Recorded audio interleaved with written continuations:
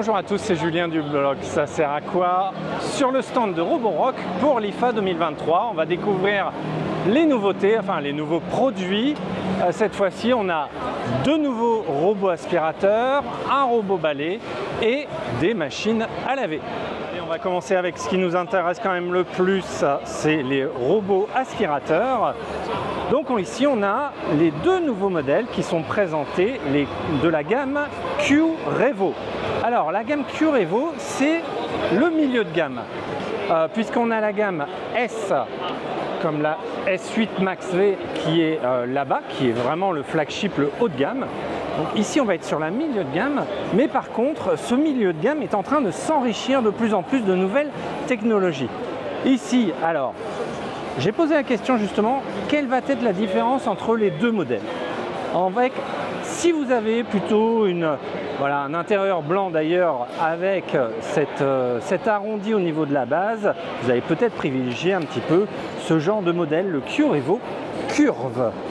Euh, en termes de fonctionnalité, ils sont quasiment identiques. Hein. On est sur du 18 500 pascal de force de succion. On a la brosse euh, qui va venir s'écarter pour vraiment venir lécher toutes les plaintes.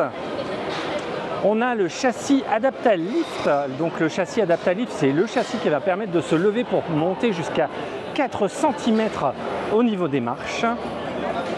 Voilà. Et le dock multifonctionnel 3, donc c'est un dock qui va permettre d'avoir de l'eau propre, de l'eau sale, un bac de récupération de poussière, une partie pour nettoyer, tout ce qui est serpillière rotative en dessous. On va passer quand même sur le Curevo Slim. Et c'est là où on va avoir une petite différence. Donc le Curevo Slim, déjà un petit peu plus euh, noir, donc plus design peut-être. On va voir ici non pas une tête de lidar qui va se trouver ici, mais plutôt une nouvelle technologie qui va se trouver ici par-dessus.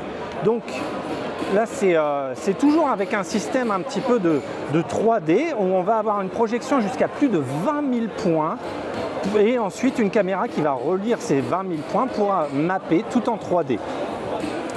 L'appareil fait 8,2 cm, donc va pouvoir se euh, faufiler partout au niveau euh, des meubles, en dessous des meubles, des canapés, etc. Comme vous pouvez voir ici sur les vidéos.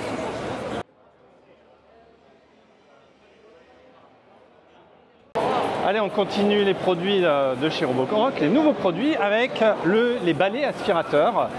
Donc ici, on a le Roborock H5, donc euh, successeur des H6 euh, et H7 que j'ai pu moi tester euh, chez moi. Je vais vous montrer ça un petit peu plus en détail. Donc ce Roborock H5 qui vient au niveau compléter la gamme.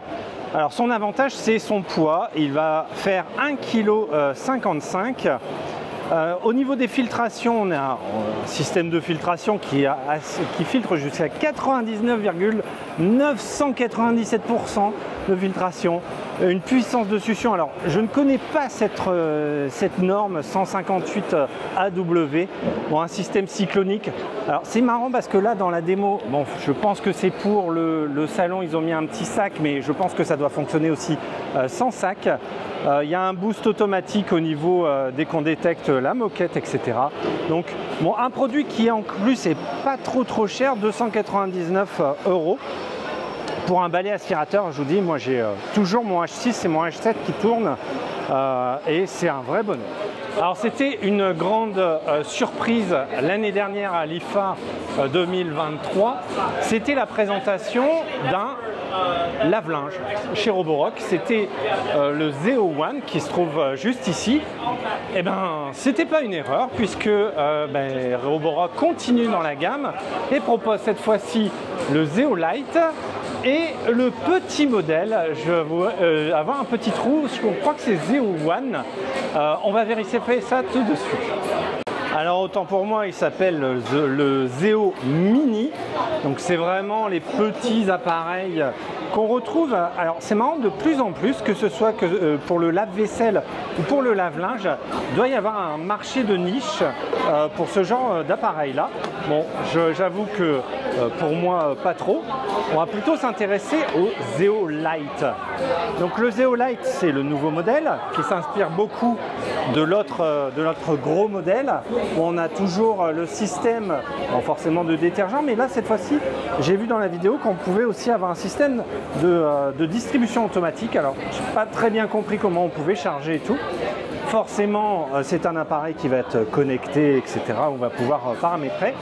Mais bah, ce que a mis en, avant Roborock, en tout cas pour ces machines, c'est ce fameux filtre Zeo qui va permettre de sécher beaucoup plus rapidement et de façon efficace le linge. Puisque, bien sûr, ce sont des machines qui font lavage et séchage. C'est des washers et dryers. Voilà, c'était Julien du blog Ça sert J'espère que la présentation de ces produits assez rapidement pour vous faire la découverte des produits de Roborock vous a plu. Et n'hésitez pas à vous abonner et à me lâcher un petit pouce bleu. Merci